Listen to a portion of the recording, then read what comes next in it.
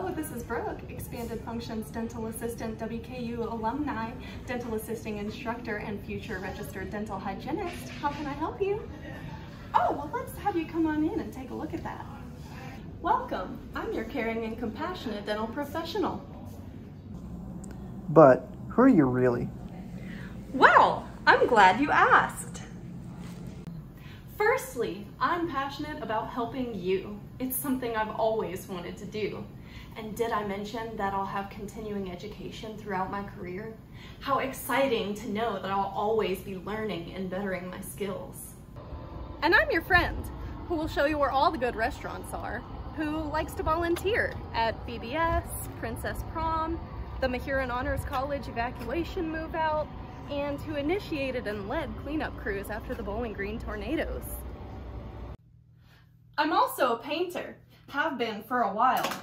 My art isn't exactly pretty, but it makes those who get it smile. I guess you could say I've got an understanding of the psyche, but it helps me every day explain the dental wrongs and dental righties.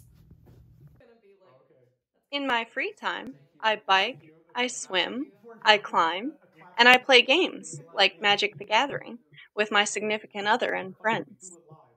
I'm a daughter. I'm a mother. Okay, that's my cat. The other is in store for me, I hope, but just not yet.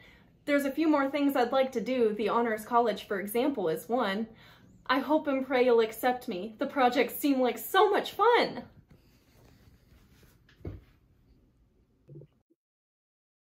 Brooke Beck graduates again in 2025 to continue the life she'll live and thrive.